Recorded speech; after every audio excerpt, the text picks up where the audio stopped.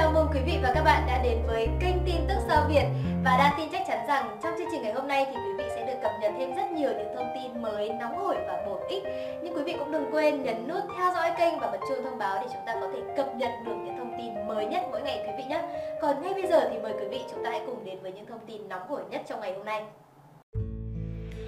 Kylie Thanh Duy đi du lịch Mỹ sang Thụy Sĩ trước khi sinh con. Kylie chia sẻ vợ chồng cô có chuyến lưu diễn dài ngày từ Mỹ sang Thụy Sĩ suốt một tháng qua. Cả hai kết hợp giữa công việc và du lịch để thắt chặt tình cảm vợ chồng. Chúng ta đang đi lạc vào một bức tranh thiên đường là thật. Mặt ngoài kia bao nhiêu sóng gió, hãy cùng em tận hưởng giây phút khoảnh khắc này. Điều tuyệt vời mà ông trời đã ban tặng cho anh và em. Cứ mãi bình yên thế này anh nhé. Hạnh phúc không ở đâu xa trước mắt mình đó thôi. Kylie dành lời ngọt ngào cho ông xã trên trang cá nhân. Đây là lần ít ỏi quán quân tình Bolero 2019 bày tỏ tình cảm cùng chồng trước công chúng. Trước đó, nữ diễn viên ca sĩ thường dành những lời ngọt ngào chỉ khi cả hai cạnh bên. Kylie chia sẻ vợ chồng cô có chuyến lưu diễn dài ngày từ Mỹ sang Thụy Sĩ suốt một tháng qua. Cả hai kết hợp giữa công việc và du lịch để thắt chặt tình cảm vợ chồng. Trong chuyến đi này, họ tham quan nhiều nơi và đắm chìm trong không gian thơ mộng. Theo Kylie, đây là nơi lãng mạn nhất mà vợ chồng cô từng qua. Thanh Duy liên tục nắm tay vợ và dành những cái ôm ngọt ngào trong lần tham quan này. Thanh Chi nói anh bị thuyết phục hoàn toàn bởi khung cảnh tuyệt đẹp của hồ Bluesea.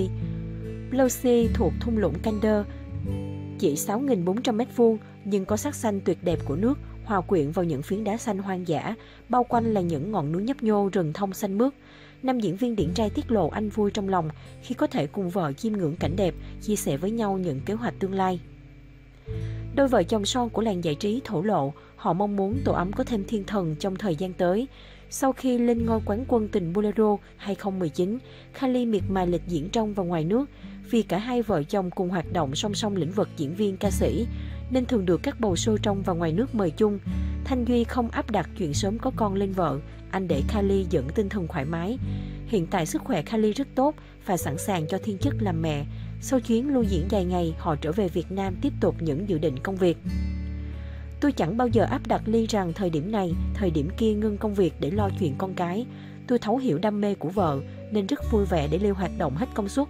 Dư số cho chúng tôi gặp nhau và trải qua bao nhiêu chuyện để có ngày hôm nay thì không hà cớ gì không tiếp tục nắm tay nhau bước những chặng kế tiếp, Thanh Duy nói. Khán giả ngưỡng mộ gia đình hạnh phúc của Thanh Duy và Kali.